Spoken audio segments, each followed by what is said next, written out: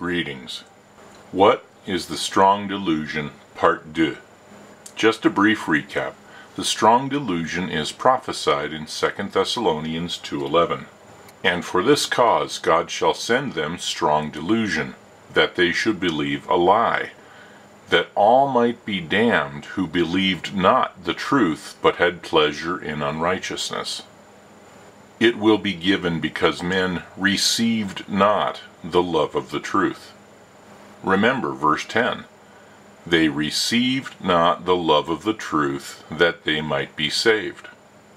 So it should be clear this event or thing will happen and why. But what is the strong delusion? Delusion. A fixed, false belief that is resistant to reason or confrontation with actual fact. While that definition seems exactly fitting, it hardly contributes. It tells us in general what a delusion is, but it does not tell specifically what the strong delusion might be. And it is entirely fair to observe the Bible does not say the or even a. God shall send them strong delusion that they should believe a lie. This may mean simply a strong state of suggestibility, as the deceivableness of unrighteousness already mentioned.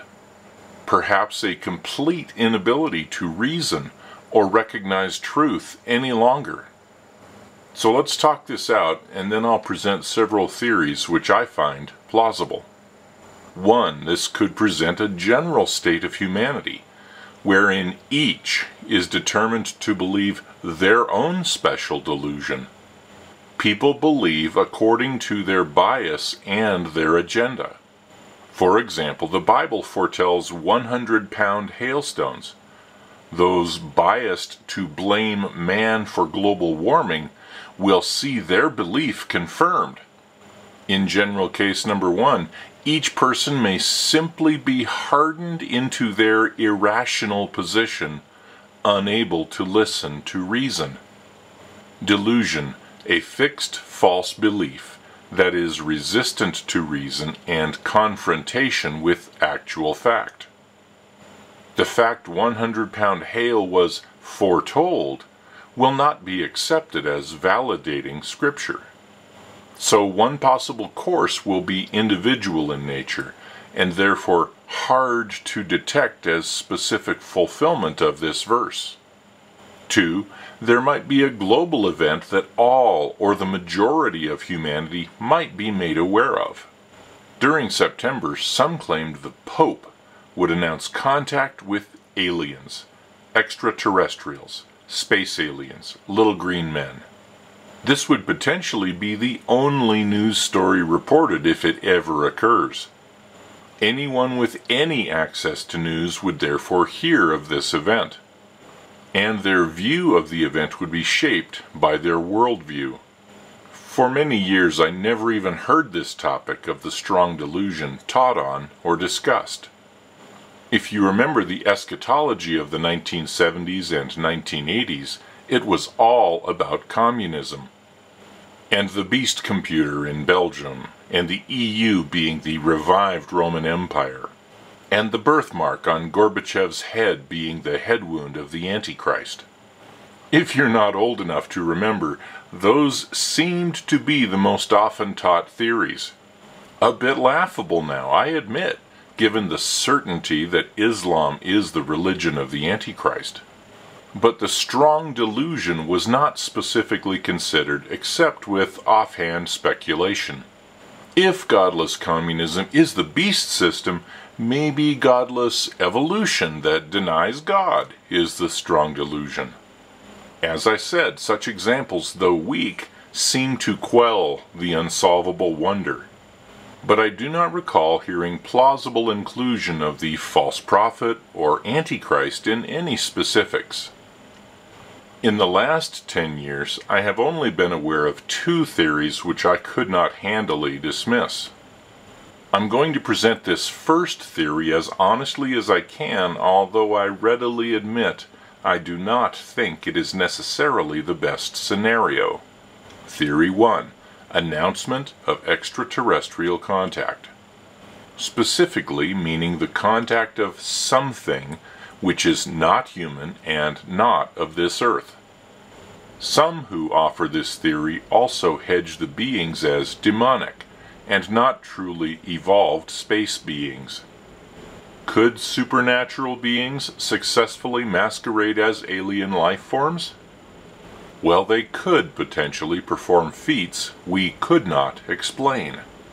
Might the aliens claim Jesus was one of them, an enlightened one? Given deception is the tool in Satan's bag, I would not bet against it. As I said, I'm not convinced of this theory, but I want to be unbiased in my review. Might the signs and wonders of the false prophet be promoted as convincing alien technology? Well, any powers that are unexplainable would give cred or credibility to the claims of those wielding the power. Would this be deceptive? Sure, atheists and New Agers would immediately accept the confirmation of their position. Any such event would pose serious publicity issues for Christians and Jews. But I do not think it would cause Islam to miss a beat.